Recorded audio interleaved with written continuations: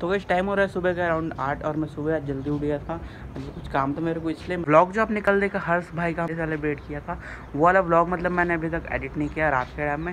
मेरे को बहुत ही ज़्यादा नींद लग रहा था, इसलिए मैं जल्दी सो गया। और सुबह के टाइम में सोचा क्यों ना एडिट कर लिया जाए करके, और शाम में ब्लॉग भी बना लेंगे जल्दी करके। तो टाइम हो रहा है सुबह के अराउंड आठ, और मतलब मैं उठा और जैसे कि मतलब फ्रेश हुआ ब्रश व्रश करके तो मम्मी बोली कि एक जगह चल जाना है करके। मतलब मम्मी को ड्रॉप करके आना था, मम्मी बरगढ़ जाने वाली थी तो वो भी कैंसिल हो गया। जस्ट अभी मैसेज देखा व्हाट्सएप में। मम्मी के फ़ोन में कि मैसेज आया था कि कैंसिल हो गया करके।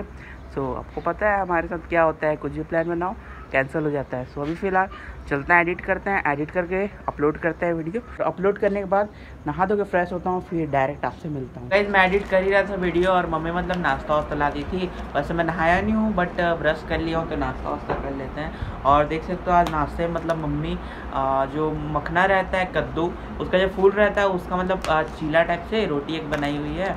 मतलब जो आटा का घोल रहता है, उसमें मतलब डिप करके उसको तवा बनाया जाता है। और आज हमारे साथ कौन है, मैं आपको दिखाता हूँ। देख सकते हो महक, और ये काफ़ी दिनों बाद आई है हमारे ब्लॉग में। बिकॉज़ ये मतलब पहले पहले तो आती थी बट बीच में बंद कर दी थी ना? मतलब शर्माती थी ब्लॉग में आने के लिए। कैसे? है कि नहीं? नहीं आती थी ना ब्लॉग में? क्यों नहीं आते थे? अच्छा तो ये गाइस आंगनबाड़ी जाती है पढ़ने के लिए। बस यही बड़ी हो गई है इसलिए पढ़ने जाती है ना? हाँ, क्या क्या पढ़ाते हैं?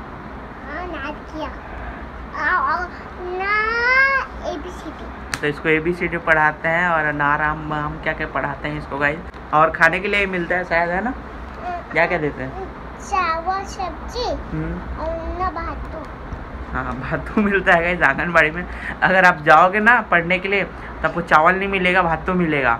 बिकॉज़ बच्चे लोग को भातू दिया जाता है। है ना, मैं? तो गैस चलो मैं कंप्लीट करता हूँ नाश्ता अपना, फिर खा पी के मैं नहा धो के फ्रेश होकर आपसे डायरेक्ट मिलता हूँ। तो गैस मैं नहा धो के रेडी हो चुका हूँ और अभी जा रहा हूँ खाना खाने के लिए। मतलब टाइम हो गया अराउंड दोपहर के बारह सो खाना पीना खा के आते हैं, फिर ब्लॉग हम कंटिन्यू करते हैं। जा चुका हूँ खाना खाने के लिए और वीडियो अपलोड हो गया। कल का जो हमने सेलिब्रेट किया था, वो अगर आपने वीडियो नहीं देखा तो डिस्क्रिप्शन में लिंक दे दूँगा, या फिर आप मेरे चैनल में जाकर देख सकते हो। सुबह के ग्यारह बजे के अराउंड आ गया था वीडियो और मतलब एडिट करने में मेरे को एक घंटा लगा और अपलोड करने में थोड़ा सा टाइम लगा और अपलोड हो चुका है तो अगर आपने नहीं देखा। तो चैनल में जाकर देख लेना, आपको मिल जाएगा और खाना पीना खा के आता हूँ, उसके बाद मैं आगे आपसे बात करता हूँ। तो गाइस खाना पीना खा के आ चुका हूँ मैं। इतना सुंदर, स्वादिष्ट खाना था गाइस और अभी आप मौसम देख सकते हो बदली बदली हो रहा है। मतलब बरसात था तब पानी वानी कुछ नहीं गिरा।